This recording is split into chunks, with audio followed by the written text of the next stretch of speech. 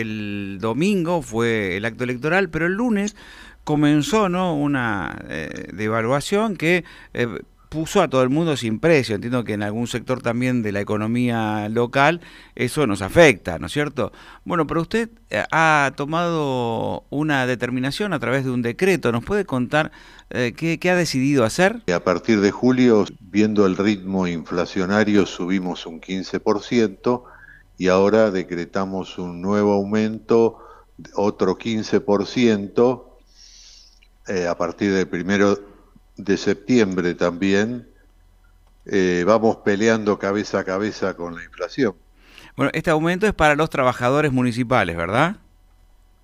Para los trabajadores municipales, para los talleres y para lo, eh, un programa que tenemos de que se llama Cuidando Nuestro Pueblo. ¿Todo el personal, incluso los eh, secretarios y directores, van a recibir este beneficio? Todos, todos, sí. Bueno, y entiendo que esto también demanda algún esfuerzo o más o menos estaba previsto hacer este acompañamiento. Por supuesto que demanda un esfuerzo. Hay que tratar de mantener una equiparación por lo menos con eh, la inflación que se nos informa. No conozco en detalle, pero entiendo que eh, la planta de trabajadores municipales en la economía local debe tener ¿no? un impacto, es decir, si pierden este, la posibilidad de, de, compra, ¿no? de consumo, los trabajadores municipales, eso rápidamente eh, se, se, ve reflejado en la localidad, ¿no es cierto? Que evidentemente... Tal cual. Claro.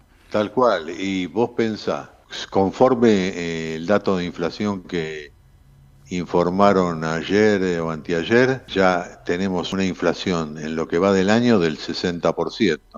Nosotros con este 15 también alcanzamos ese 60% más eh, el impacto que tiene el porcentaje sobre el porcentaje, digamos. A partir del primero de enero un incremento del 30%.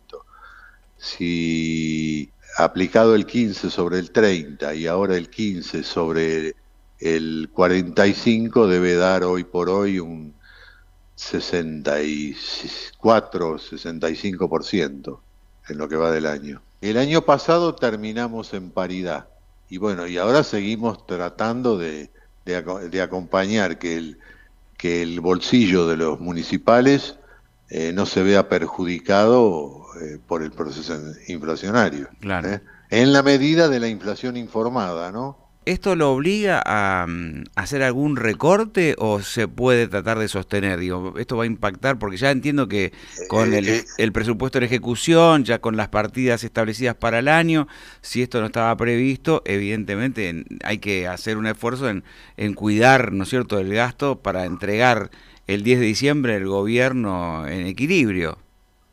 Exactamente.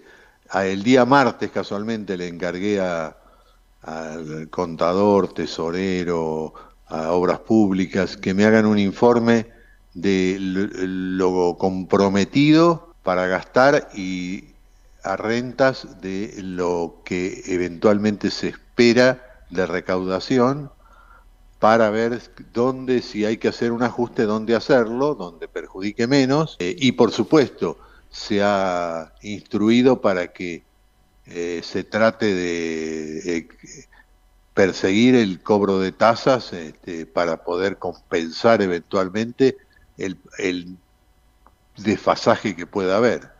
Somos Radio Noticias.